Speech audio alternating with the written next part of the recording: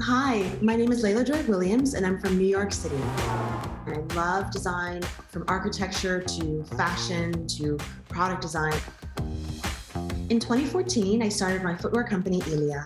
Life was busy, hectic. I would say in an average year, I would take at least four to five international trips. In 2020, I traveled to Spain in February. I planned to be in Europe for just a couple of weeks on a business trip. I planned to stay with my boyfriend, Oscar. Suddenly, the entire world had shut down. I was living in a region where there were a tremendous amount of luxury shoe factories and wineries. I asked my boyfriend to take me to some of the wineries. I had an idea, and it involved pursuing wine. Please, Tampa, and welcome Layla Joy Williams. She joins us now from her new home in Marbella, Spain. Hi, Tamron. Okay, first of all, we have a live audience, Layla Joy, and the minute we showed all that beautiful, lush landscape, we all went there in our hearts. But but you're there now. Tell us a little bit about where you are and and and, and, and your Mediter- Mediterranean life now. I'm in amazing. I'm in an amazing space, um, place right now called Marbella, and it is actually absolutely picturesque. Um, you know, I wake up in the morning and I take um, long walks by the the seashore, and it's absolutely amazing. It's beautiful. So you have this seemingly ideal life, but the next act came at a very difficult time. You were there vacationing, and then, as you said, the world stopped. Mm-hmm. Well, I wasn't. I was actually um, the top of 2020. I traveled to Spain because I was going to an industry show yeah. in um, Italy.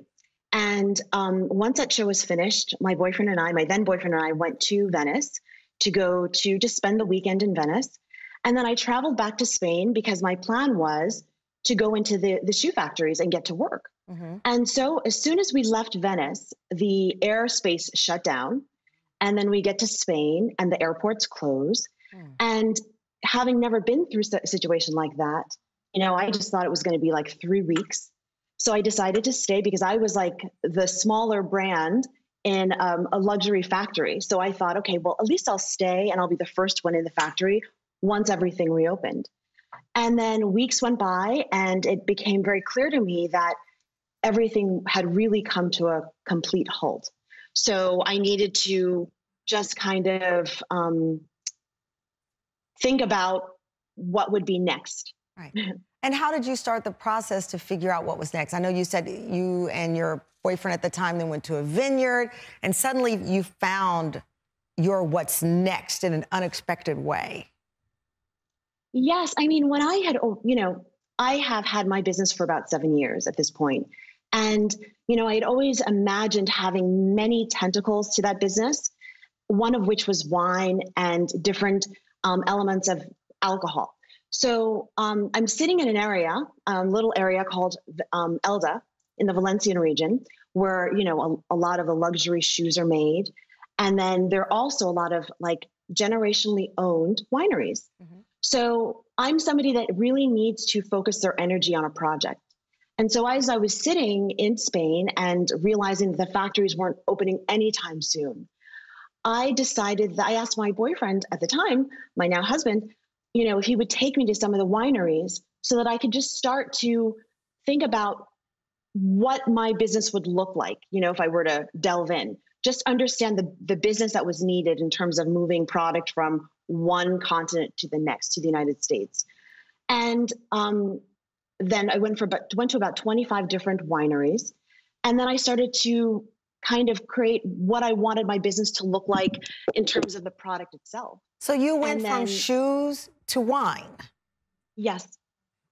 Had you ever imagined this transition? No, absolutely Never. not. Never. I thought maybe I would add that element to my business maybe five to seven years from now. I never thought in a million years that I would have started the business in 2020, like actually putting pen to paper. What I love about your story, many things, living in Spain and having a winery, but there's that. It's that the next act came in a difficult moment. of choice, right? You you could have kept doubling down on the shoes, which were beautiful and, and was your passion, but you said, okay, my next act will require a pivot. And that's important to keep in mind. I, you know, I really had no plan whatsoever when I when I started this. I just wanted to learn about the business. Wow. But, you know, as I started to put one foot in front of the other, everything came together. Wow. It's incredible. It's incredible and I'm having the best time. Uh, Layla Joy, so you went, you were there with your boyfriend at the time. You reveal now husband. What was that next act like for you? I can only tell you that in 2019, I would never have thought I would be, you know, getting married. Um, I wasn't even really looking for love. I was focused primarily on business. And so we met um, in a shoe factory, really, um, actually hired somebody to um, help with translation. And Oscar happened to be his best friend.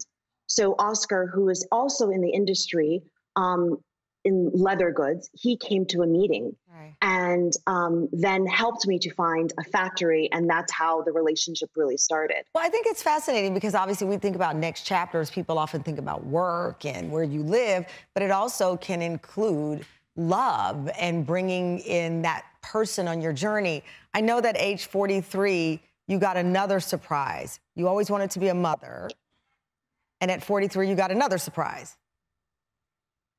I, I always wanted to be a mother, Tamron. And it was really about finding the right time in my life. I mean, I have traveled all of my life, like all, all of my, my adult career. And my life just wasn't conducive to having a baby. And, but I, but it was so important to me that I just wanted to do it right. And at the end of 2020, I got pregnant. Aww. there you are in your mid 40s, now a mom. Is this next chapter surreal? It's the best chapter of my life. It really is. You know, I could cry. I just, I mean, when I look at her every day, I just like, I can't believe she's mine, you know? Oh. And, you know, um, Oscar I, is just an amazing husband. I know that feeling. Well, Layla Joy, thank you. Congratulations on your next chapter and inspiring other people to step out there and, and make it happen. Thank you so much, and best to you and your thank beautiful you. family. Congratulations to you as well. Thank, thank you. you.